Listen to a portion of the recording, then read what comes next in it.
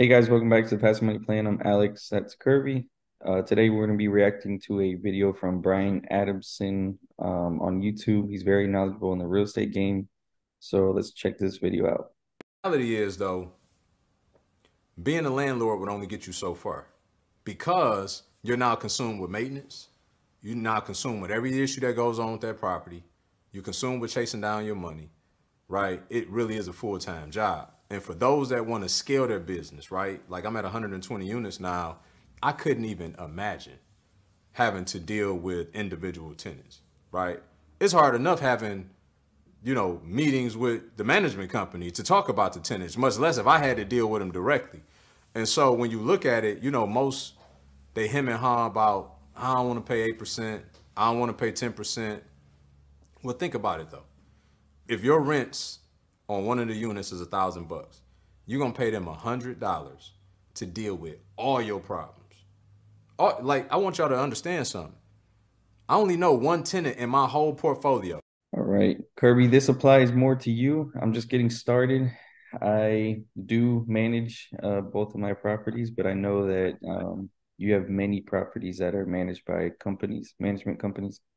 So um, I understand what he's saying. Obviously, um, I know where he's coming from completely, um, but I know you can elaborate more on this on the ease of having property management over managing tenants directly. And the first thing I want to send a shout out to Brian Adamson. He he has great content. So uh, we'll put his handle down there in the description. But um, he's he has a wealth of knowledge, people. When I say articulate, he's he's one of the people you know out there really doing the work. He's not sitting here uh sitting in a corner just watching news clips and trying to tell people what's going on. And I'm not saying that because he, you know, he, you know, like in the video, he talked about, oh, I have 120 units. It's people on the internet, how many doors and stuff they have all the time.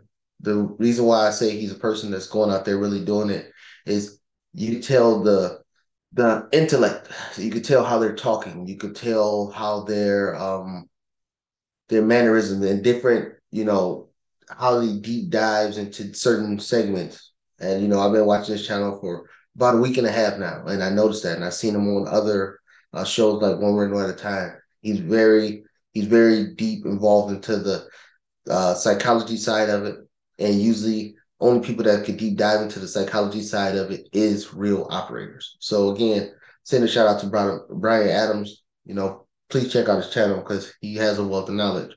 All right, now jumping into what he said. Um, he's correct. He's correct for the most part. Let me say that. Um,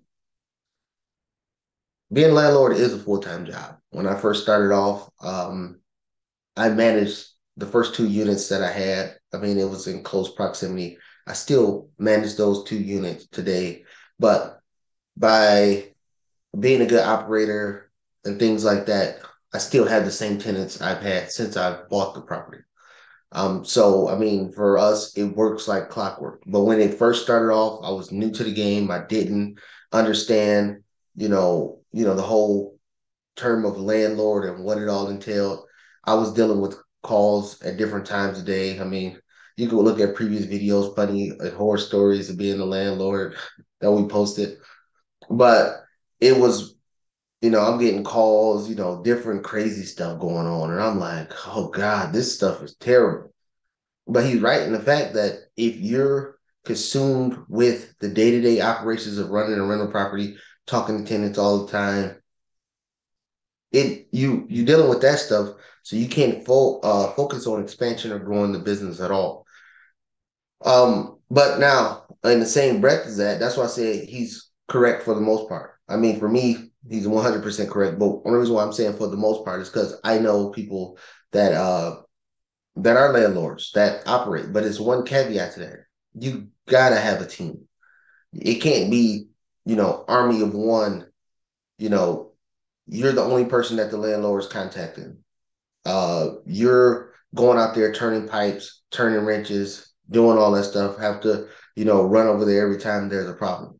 What I mean by is a team, and then mostly, and this is how it is in family dynamics. Family dynamics is usually one person's uh, landlord or something like that, and then they're you know focused on it doing that, and then their spouse or whatever really has no part in there. You know, the spouse might ask a question or two every now and then, but besides that, it's completely hands off. If it's a dynamic like that, and most people have a dynamic like that, you know, it's the one offs that have, you know, the uh the spouse, I'm not gonna say the man or the woman, one person could be focused on, you know, the day-to-day operations of being a landlord, and then their spouse is focused on, you know, looking at acquisitions, you know, looking at the financial stuff like that, keeping track of the bookmaking and uh looking for deals. So it is possible to do it, but it is harder to do it that way it is possible. So again, I'm not dismissing what Brian Adamson saying because I agree 100. percent I still manage those properties, but everywhere, everything else is is property management. Property management, and I could tell the difference between the two. I could tell the difference when I was sitting there focused on those two properties that I had. I want to focus on nothing else.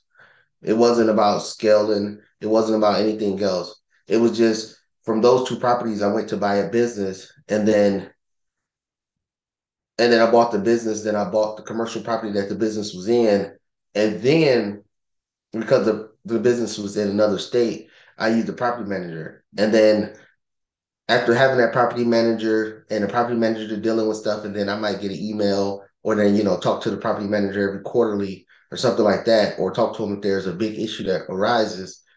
I seen the the ease of it. It's you know, I didn't have to sit there and take all the calls the property manager was doing and things like that. And then that's that's when the light bulb switched for me and saying, "Oh, I can focus more on the on growing the business than oh phone call, oh phone call, putting out fires, putting out fires, putting out fires every day." And like I said, I still manage those properties, but those properties is ran. It's like the tenants manage themselves in the two that I still manage myself, but everything else is ran by property managers. And the calls that they get all the time. And of course, I get I know what's going on uh, if it's something major over a certain financial threshold because I give the pri- property managers a certain financial threshold that if it's below this uh, number amount, don't even call me, just get it done.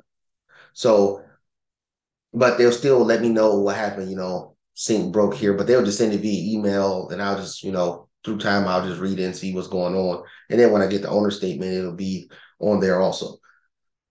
So I'm gonna stop right there, but it's two different dynamics and and so in that part i agree with them 100% but I, will come back after this after hearing what you got to say go ahead yeah i was thinking the other day and i can see how using property management um i mean obviously it, yeah it, it would be more of an ease but seeing how using property management i think at the start you wouldn't have that experience of managing properties yourself and knowing what to do in certain situations to then manage the companies.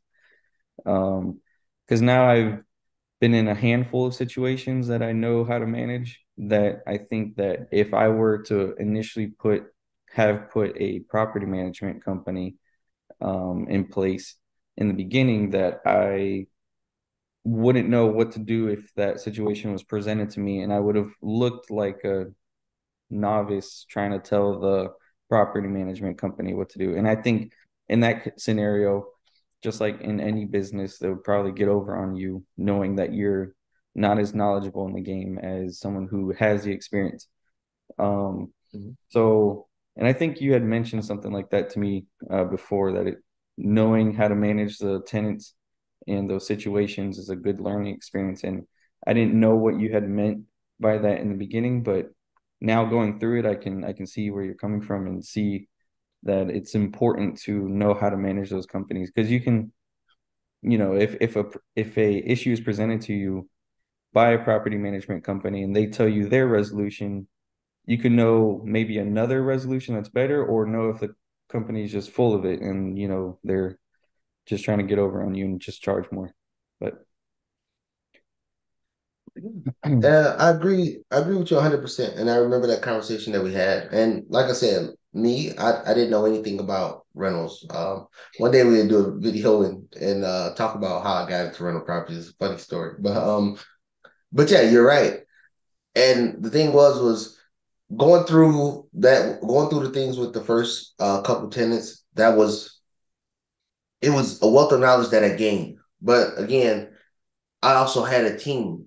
A team as in I knew a contractor who told me, you know, what to do in certain situations. It wasn't just me going and saying, "Oh, this happened." I can always had somebody to bounce stuff off of. Brian Adamson, uh, he talks about that also. You know, being around people. You don't want to be the smartest person in the room. I'm, I'm not. I'm paraphrasing what he's saying. This is probably not exactly how he said it, but you want to have a team around you, but you can't be the smartest one in every subject that there is. So, in every different avenue that endeavor I go in, I always know somebody that um that is more knowledgeable knowledgeable than me. Like for instance, the barbershop that I bought. I know nothing, not a thing about cutting hair. I know about customer service, I know about advertising, I know things like that, but I know nothing about cutting hair. So the first thing I did was I befriended and started getting mentored about somebody cutting hair. What what is a good haircut? What is a bad haircut? What what looks right? What don't look right? The dynamics of how a barbershop works and things like that. But I never want to be the smartest person. Like, and and this is a property manager when it comes to repairs and stuff like that. Uh, I want to be, I want to have somebody to have knowledge. And again, you got to have people on your team that. Uh, I'm still afraid from Dave Ramsey, a heart of a teacher. I mean, it's it's people that you know that know a lot of information, but they're not open and willingness to share because they like again with the contractors that I uh, know, all of them have a heart of a teacher willing to say, "Hey, this issue happened, but in the future, to save you money and X Y Z, do this, this, this, and this." Uh, you know, and though that relationship would help me understand property management more, especially now talking to property managers and they come with an idea and I'm like, oh well, you don't have to do it like this just do it like this. Yeah, it's gonna cost money, but this is a more efficient way to do it uh, for the long run for both of us. You know, I'm not cutting corners or or saying, oh, let's just jerry rig it or something like that. But now I know more because again, the property managers don't know much about construction. They just uh, you know, outsourcing the job to people, to contractors, and you know, some contractors out there to get you. So just having that knowledge base at the beginning is good, but always, you know, you you want to be in there to understand what's going on you know, knowing how the how it operates from top to bottom. But again, when you want to scale, you don't want to be sitting there still on that nine to five grind dealing with a tenant because it takes your attention away from the big goal. If your goal is to have, you know, you know, X number of properties, you know, more than you think, it's hard to do both at the same time unless you, like I said, have a team. You know, if you have a spouse, but if you're a one man wrecking crew by yourself and you don't have, you know, let's say a significant other or something like that that want to be a part of you know what you're doing then having a property manager is the best way to go especially for scalability and robert kiyosaki he talks about that too that you know you don't want to know everything about one thing but you want to know a little bit about everything and so having professionals in those specific fields a professional contractor right. professional you know, whatever it may be, um, that you deal with in your team, then yeah, you'll get the most knowledge out of that person to know how to handle those situations. I think that's very important. I think that a lot of small business owners or mom and pops, they um, that don't scale, they get stuck in that little uh, niche where they don't want to do the work and learning about every other thing. So they're just focused in on on managing that you know just one side of things and not opening up and and like and you know this channel is about passive money and we always talk about freedom of time. That's what we talk about. The reason why people want mass passive money is for freedom of time. If you sit there and be a landlord and let's say you got 10 units let's just say 10 units close by you and you're sitting there dealing with the day-to-day issues from the tenants because problems are going to happen. Everybody, people might have this great idea that, oh, I can get rental properties and nothing happened. I mean, from new construction to already, I mean, investment properties that you buy that's used, you know. it's going to be problems. You're going to get phone calls. You're going to get tenants complaint. All tenants not. I got lucky with the first two tenants I had. You know, starting off early on, you know, I got phone calls, but then now it's more. It's way more manageable. I mean, we talk maybe, you know, I mean about issues, about issues. Uh, we talk maybe once every quarter if there's an issue or something like that.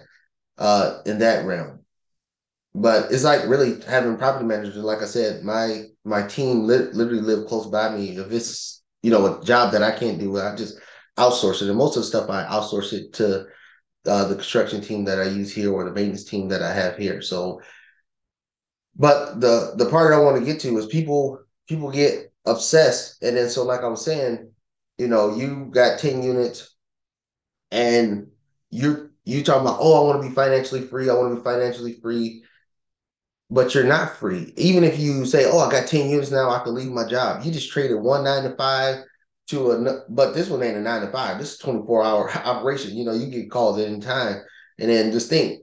I mean, you know me. Just think of me putting on a tube belt every day trying to go fix something. I'm gonna do more damage. I'm gonna do more damage than good, you know. But but I know I know what to do now. If it's small, something small, I can get it done. And like I said, if if it's something, and literally my my team is like this. I can call a, I can call the guy and he would he can he'll be like, all right, this is what the issue is. He always say, This is what the issue is. This is how to fix it. And then he'll tell me, like, you can do it, you know, or something that my team can do. I mean, he know my, you know, proficiency level on fixing stuff, but he was but he always give me the option, like, hey, yeah, he was like, you can do it if you got time, but if not, then my team is happily to do it. And then, you know, for for the few times that I gotta call him, he always gives me that uh he always give me that option. And then sometimes I'm just too busy. I'm like, no, just go ahead and get it done. Um, and then, but if it's something I'm like, oh, I, I got some spare time, I'm just, you know, not doing nothing, just I'm, I'm already in the area. Then he'll be like, oh yeah, just do this. Or or he'll just get on the FaceTime with me and be like, all right, yeah, do this, do this, do this, and fix it. But he has no problem either way. But again, but that I got off track a little bit, but all that does is it's you trade one ninety five for another ninety five, and if you're talking about passive money and you want to have your time back, then you don't have your time back. And if people get built uh, bent out of shape from this, uh, you know, eight percent, ten percent management fee, I think eight to ten percent is worth it to have my time. My time is very valuable, and like you know that I go to scale. I'm looking at deals all the time. You know, sometimes I gotta you know, lead state and fly and lead state to go get deals done. If I got to worry about tenants and I don't have a team around me and stuff like that, then I can't do none of that stuff. I gotta, I'm always in one place trying to do a deal, but worried about something else that's going on over there. But the 8 10%, and just the FYI for people that's out there, the more units you have in a location, and this is again going to the deal making aspect of it, and this is stuff that operators need to know is yeah, you're doing a deal to acquire the house. You can also do deals with property managers. Let's say you get over four units in an area and they can manage them all and be like, all right, well, I'm giving you four units. Can we knock the percentage down to 8%? I've done that in different locales once I had enough scalable units for uh I mean enough units that one property manager is managing. Usually if it's one or two units, property managers are gonna hit you with the 10%. And then you can bring it down. I mean, I got some places down to 6%, just based on the number of units that I have. And then that's that's a way to uh, make it shape. So you can work and get that percentage down. But like Brian said, that it gives you your time back. I run, and I'm not saying I'm a you know dictator or nothing like that, but I run it just like the military, or I run it just like a corporation. What I mean by that is, and I was explaining to a guy in the military, he said, how do you manage all of these things?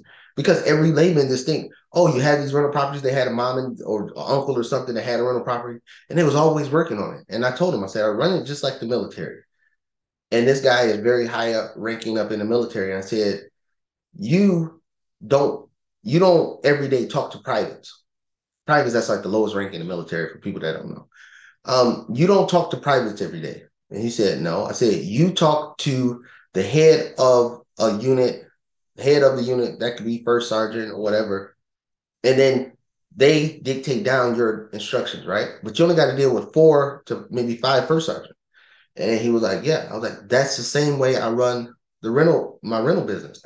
Is I communicate through to the or I send out my orders, my marching orders to the property managers, and the property managers get it done. So instead of talking to every tenant, which is a lot of them, I don't have to talk to them. I just talk to the head. So I got seven, seven or eight property managers, I believe.